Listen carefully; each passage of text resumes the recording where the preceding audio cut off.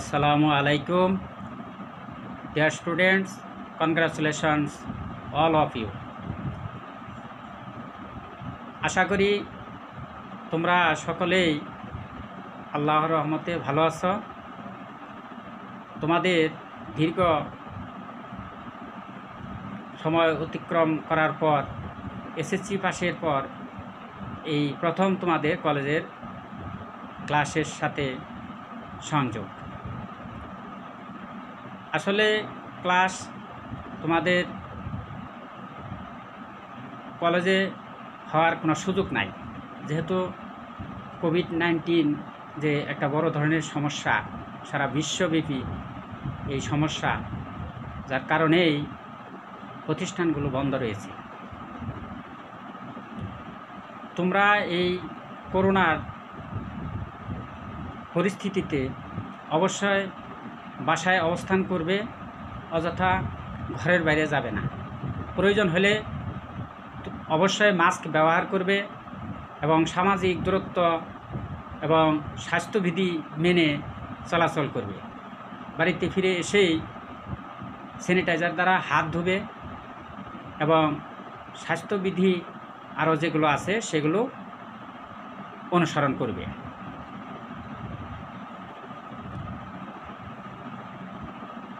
আসলে এই online class এই ক্লাসটা তোমাদের জন্য যথেষ্ট গুরুত্বপূর্ণ।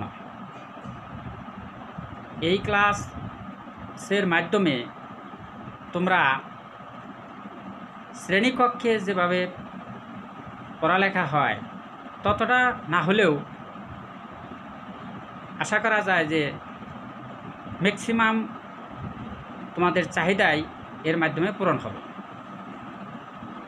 এটি আসলে আমাদের অধ্যক্ষ স্যারের একটি মহৎ উদ্যোগ। অধ্যক্ষ স্যার অনেক আগে থেকেই এই ভাইবারের মাধ্যমে যে ক্লাসগুলো নেওয়া সম্ভব, সেই বিষয়টা চিন্তা করেছিলেন। যার কারণে প্রতিষ্ঠান বন্ধ হওয়ার পূর্বেই যখন করোনার কিছুটা সূত্রপাত ঘটেছিল তখনই আমাদের প্রত্যেক শিক্ষকদের দিয়ে তিনি ভাইবার যে অ্যাকাউন্ট সেটা ওপেন করিয়েছিলেন। যার ফলশ্রুতিতেই আমরা ভাইবারের মাধ্যমে তোমাদের এই ক্লাসগুলো অনেক আগে থেকেই নিয়ে থাকি।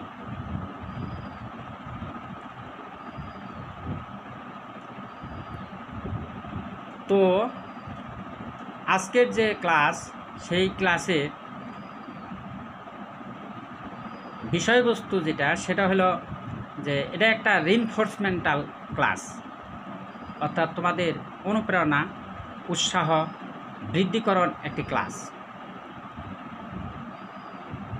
এটি শুরু করার পূর্বেই আমি আমার পরিচয় দিয়ে নিচ্ছি। আমি মোহাম্মদ হাবিবুর রহমান, সহকারী অধ্যাপক, কৃষি শিক্ষা।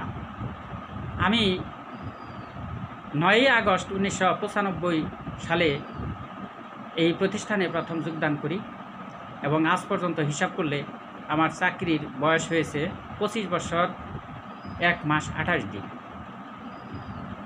এই দীর্ঘ সময়ে তোমাদের মতো অনেক ব্যাসই আমার হাতে চলে গিয়েছে তোমরা আবার আমাদের হাত থেকে চলে যাবে। নবীন শিক্ষার্থী, তোমাদেরকে আমি আমার অন্তরের অন্তঃস্থল থেকে ধন্যবাদ জানাচ্ছি।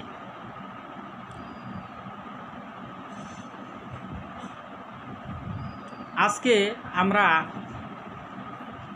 কৃষি শিক্ষা বিষয়ে সিলেবাস এবং কৃষি শিক্ষা কি বই কিনতে হবে, সে ব্যাপারে তোমাদের আলোকপাত করব। কৃষি শিক্ষা বিষয়টি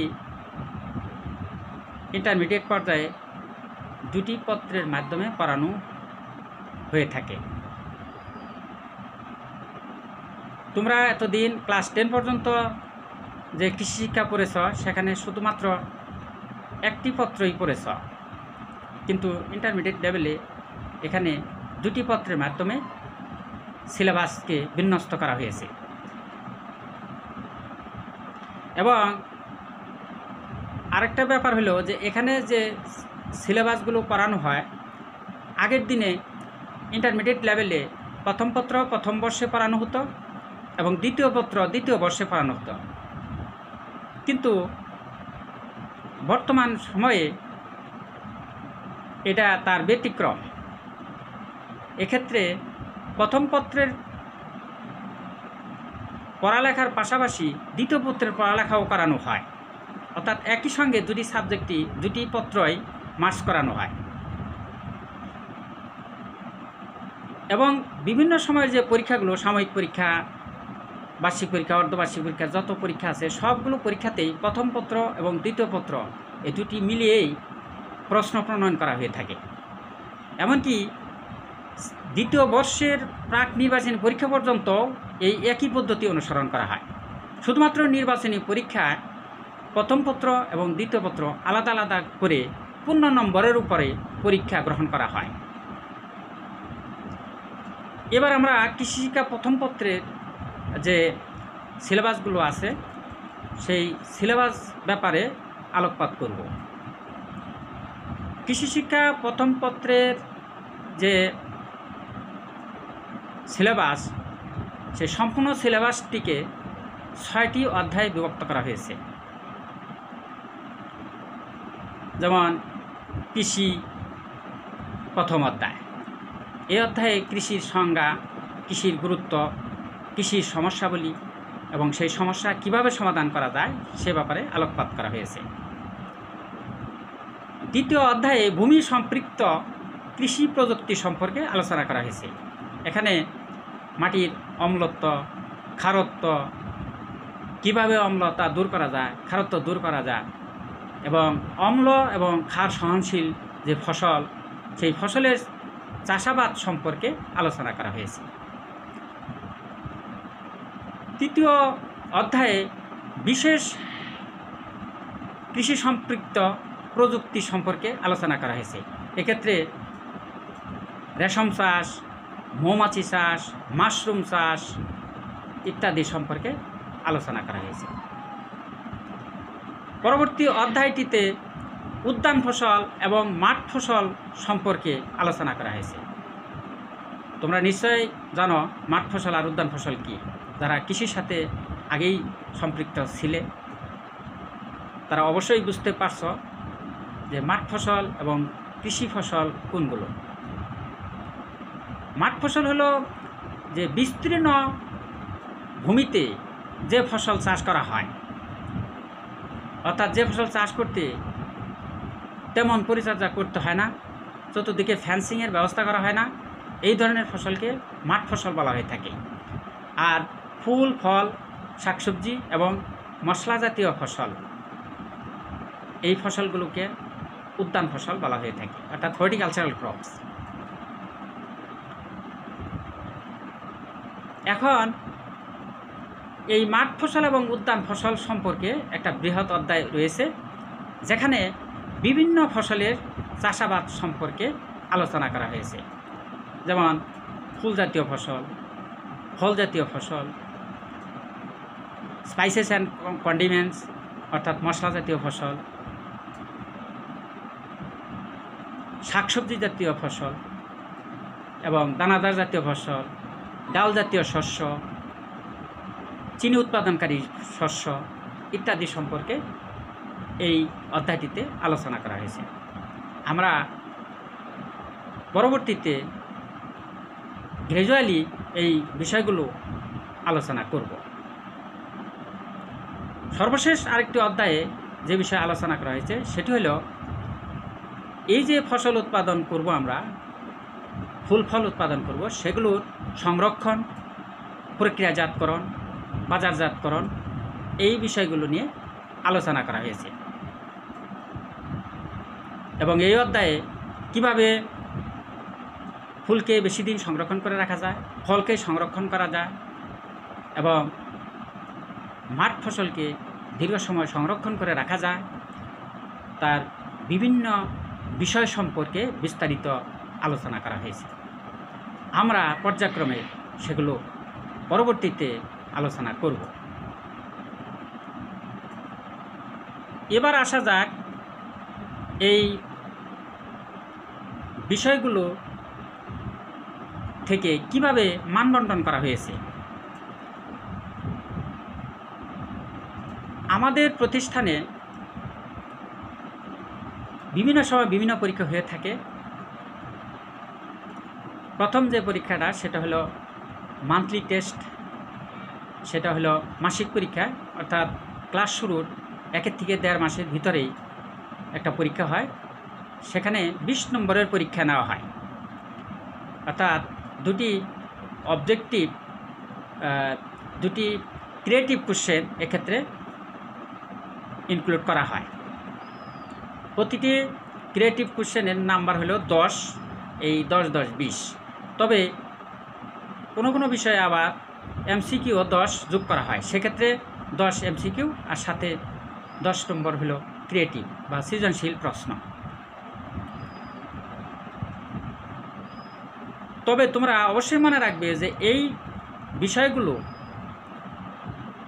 উপর যে পরীক্ষাটা হয়, সেই পরীক্ষাগুলো কিন্তু ফাইনাল পর্যন্ত যোগ করা হয়। অর্থাৎ কোনো পরীক্ষায় এখানে অগ্রহণযোগ্য নয়। সেজন্য তোমাদের প্রথম থেকে সিরিয়াসলি পরীক্ষাগুলোর জন্য প্রস্তুতি নিতে হবে এবং পরীক্ষা অ্যাটেন্ড করতে হবে। এছাড়া অন্যান্য যে পরীক্ষাগুলো যেমন half annual exam annual exam pre test test এই পরীক্ষাগুলোর যে মানবন্টন, সেগুলো একই রকমের হয়। অর্থাৎ এক্ষেত্রে আটটি সৃজনশীল প্রশ্ন থাকবে। এবং এই আটটি প্রশ্ন থেকে পাঁচটি প্রশ্নের উত্তর করতে হয়। প্রতিটি প্রশ্নের মান দশ করে। আর দশ কীভাবে বিন্যস্ত করা হয়েছে, তোমরা ইতিপূর্বেও জেনেছ যেমন চারটি অংশ থাকে, একটা উদ্দীপক থাকে আর তার চারটি অংশ থাকে, প্রথম বৃত্তে থাকে এক নম্বর, তারপরটি দুই, এরপরে তিন, শেষে হলো চার। এই মোট দশ নম্বরের প্রশ্ন। তাহলে এখানে পাঁচটি প্রশ্নের উত্তরে পঞ্চাশ নম্বর আর বাকি থাকল পঁচিশ। এই পঁচিশ নম্বর এমসিকিউ বা মাল্টিপল চয়েস কোশ্চেন্স। অর্থাৎ বহু নির্বাচনী অভিক্ষা সেটা থেকেই প্রণয়ন করা হয়। এবং পঁচিশটি প্রশ্ন থাকে, পঁচিশটিরই উত্তর করতে হয়। নম্বর হলো পঁচিশ। আর এর জন্য নির্ধারিত সময় হলো পঁচিশ মিনিট। আর সৃজনশীল যে অংশ, এই পাঁচটির জন্য নির্ধারিত সময় হলো দুই ঘণ্টা পঁয়ত্রিশ মিনিট। আর এক্ষেত্রে পূর্ণমান হলো পঞ্চাশ। তাহলে এই দুটি মিলিয়ে তিন ঘণ্টা সময়ে পঁচাত্তর নম্বরের পরীক্ষা হয়ে থাকে। বাকি থাকে পঁচিশ, এই পঁচিশ পঁচিশ নম্বর হয় প্র্যাকটিক্যাল বা ব্যবহারিক পরীক্ষা। সে, ব্যবহারিক পরীক্ষাটাও তোমার দুটি ব্যবহারিক এক্সপেরিমেন্ট সেটা লিখতে হয়। একটি নম্বর আট আরেকটির নম্বর হলো সাত। এই আট সাথে পনেরো। আর বাকি পাঁচ হলো মৌখিক পরীক্ষার জন্য, আর পাঁচ হলো প্র্যাকটিক্যাল নোটবুকের জন্য। তাহলে এতক্ষণ আমরা সিলেবাস এবং মানবন্টন এ সম্পর্কে জানলাম। এবার আমি তোমাদের বই কেনার ব্যাপারে বলব। যেহেতু এখনও বই কেনা নাই, কাজেই তোমরা বই কিনে নিবে।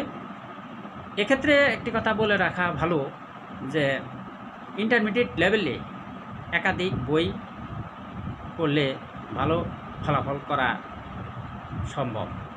কারণ কোনো একটি বইতে একটি বিষয় ভালো থাকে, আবার অন্য একটা বইতে অন্য একটা বিষয় ভালো থাকে। সেক্ষেত্রে তোমাদের আমি মনে করি অনেক রিয়েবিলিটি আছে একাধিক বই কেনার। যাদের একেবারেই অ্যাবিলিটি নাই, তারা হয়তো একটা বই কিনবে। কিন্তু যাদের অ্যাবিলিটি অ্যাবিলিটি আছে, তারা অবশ্যই একাধিক বই কিনবে। এক্ষেত্রে তোমরা যে বইটি কিনবে কৃষি শিক্ষা, প্রথম পত্র সেই বইটির লেখক হল ডক্টর প্রণয়বালা, ডক্টর আবুল কালাম আজাদ, অসিত কুমার সাহা এবং মৃত্যুঞ্জয় রায়। এই বইটি পুঁথিনিলয় প্রকাশনী। তোমরা এই বইটি সংগ্রহ করবে। আর এর পাশাপাশি দ্বিতীয় নম্বরে যে বইটি কিনবে, সেটা হলো কৃষি শিক্ষা প্রথম পত্র, ডক্টর মোহাম্মদ সদরুল আমিন। তো আজকেই তোমরা বাজার থেকে বই সংগ্রহ করবে। তোমার পার্শ্ববর্তী এলাকাতে যে লাইব্রেরি আছে, সেখানে এই বইগুলো পাওয়া যাবে। এখন তোমাদের বিষয়ে আমি প্রাতিষ্ঠানিক দু একটি কথা বলতে চাই। সেটি হলো যে আজকে তোমাদের কলেজ জীবনের চতুর্থ দিন। অথচ তোমাদেরকে আমাদের প্রতিষ্ঠানে এনে ক্লাস নেওয়া সম্ভব হচ্ছে না। ভাইবারের মাধ্যমে তোমাদের সাথে যোগাযোগ করছি। তোমাদের ভাইবারের মাধ্যমেই তোমাদের ক্লাসগুলো নেওয়া হচ্ছে। আশা করি তোমরা খুব মনোযোগ সহকারে শ্রেণি কার্যক্রমে অংশগ্রহণ করবে। মনে রাখবে, এই সকল ক্লাসের মাধ্যমে কোনো একটা বিষয়ের জিষ্ট কথাগুলোই তোমাদেরকে প্রদান করা হবে। আমি আশা করি যে কোনো বিষয়ের এই ক্লাসগুলো তুমি ফলো করলেই ভালো করতে পারবে ইনশাল্লাহ দ্বিতীয় কথা হলো, প্রতিষ্ঠানটি টাঙ্গাইল জেলার ভিতরে একটি স্বনামধন্য শিক্ষা প্রতিষ্ঠান। এখানকার PC result JSC SSC PSC SSC HSC সমস্ত ফলাফলগুলি খুবই আশাব্যঞ্জক। এবং মেধা তালিকা আমাদের স্থান রয়েছে। কাজেই তোমরা এখানে ভর্তি হওয়ার যে সুযোগ পেয়েছ, আমি বলব তোমরা খুব সৌভাগ্যবান। আল্লাহ শুক্রিয়া আদায় করবে এবং খুব ভালোভাবে পড়াশোনা করবে। আশা করি তোমাদের কেরিয়ার ডেভেলপমেন্টের জন্য এই প্রতিষ্ঠানে যে প্রশিক্ষণের ব্যবস্থা করা হয় বিভিন্ন কোচিং সেন্টারের মাধ্যমে, সেটাও তোমাদের জন্য পরবর্তী কেরিয়ার গঠনের সহায়ক হবে। এটাই আমি আশাবাদ ব্যক্ত করি। অধ্যক্ষ স্যারের অনুপ্রেরণায় উৎসাহে আমরা সেই ধরনের ক্লাসগুলো প্রত্যেক সপ্তাহে সপ্তাহে নিয়ে থাকি।